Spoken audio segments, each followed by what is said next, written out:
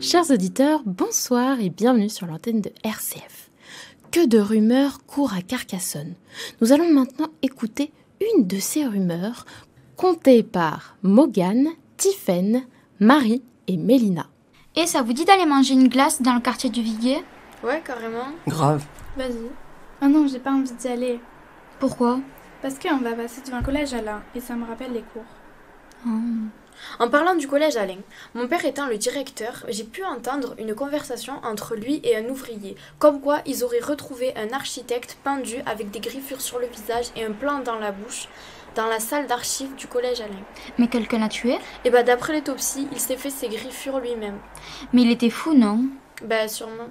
Moi, ça me rappelle une histoire, euh, une légende un peu. Vous connaissez justement la légende du Viguier? Non, c'est quoi un viguier? C'est pas juste le nom du quartier? Le Viguier, c'était le chef de la police au Moyen-Âge. La légende raconte que le Viguier protégeait un plan secret qui apparemment dévoilerait un passage secret qui amènerait à la cité. Un architecte, à l'époque, aurait voulu s'emparer justement de ce plan. Et ce dernier, justement, fut pendu parce que les plans ne devaient pas être touchés. Ils étaient protégés parce que, justement, il fallait les amener quelque part. Ah oui, des histoires de pendus retrouvés avec un plan dans la bouche, j'en ai entendu plusieurs. Mon grand frère, qui était policier, a eu une affaire similaire il y a 18 ans. Ah mais oui, dernièrement je suis allée à la cité avec ma famille et la guide nous a parlé d'un soi-disant passage secret qui amènerait on ne sait pas où.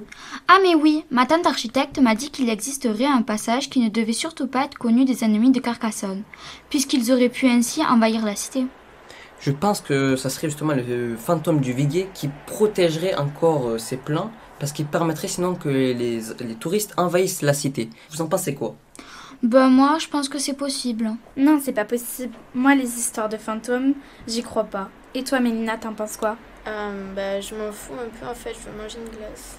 Ouais, bon. grave, on y Ok. va. Ice cream, chillin', chillin', ice cream, chillin'. Ice cream, chillin', chillin', ice cream, chillin'.